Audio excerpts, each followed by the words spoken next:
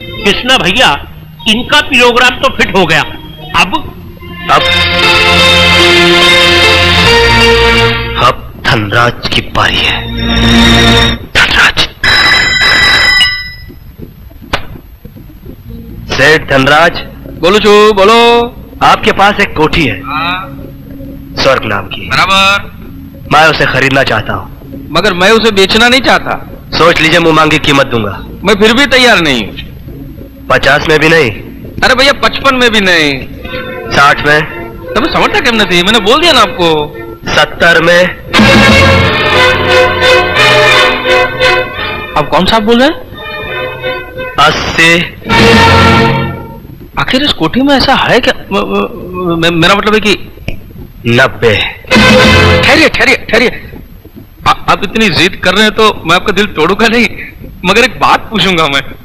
आप कहीं मज़ाक तो नहीं कर रहे हैं ना? मैं मज़ाक नहीं करता। ठीक है ठीक है हाँ? अब मेरे घर पर रुपया लेकर आ जाइए मैं सब कागजात तैयार करवाता हूँ ओके? कागजात मैं तैयार करवा चुका हूँ। वेरी गुड आपको सिर्फ़ दस्तखत करना है। मेरा आदमी नब्बे लाख लेकर बाहर खड़ा है। जाकर दरवाज़ा तो खोल। ओके।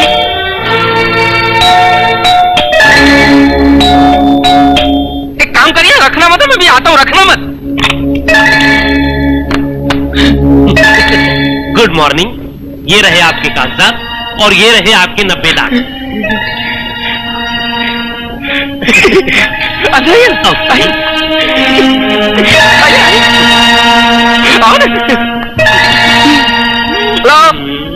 भाई साहब लेकिन आपको कैसे पता चला कि मैं नब्बे लाख पर आकर ही मान जाऊँगा? मुझे आदमी की औकात का अंदाज़ा है धनराज।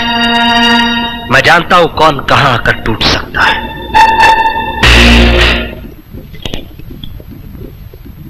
ये लीजिए। हमारे गुजराती में एक कहावत है कि जो आदमी की बात समझ में ना आए, उसके साथ कभी सौदा नहीं करना चाहिए। लेकिन मुझे आपकी बात समझ में आती है, इसके लिए मैं आपके साथ सौदा करूँगा, क्योंकि इसमें मेरा फ़ायदा है। ये लीजिए, एक बात मुझे बताइए, आपके भाई साहब ज़मीन के भाव को आसमान तक पहुंचाना चाहते हैं क्या? जी नहीं, उनका प्रोग्राम थोड़ा उल्टा है। वो आसमान पे बैठे हुए कुछ लोगों को ज़मीन पे लाना चाहते हैं। Good day. and enjoy yourself, please.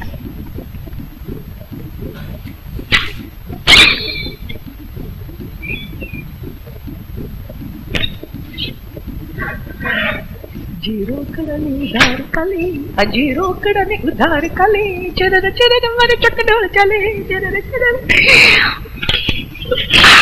अजीरो कड़ने उधार कले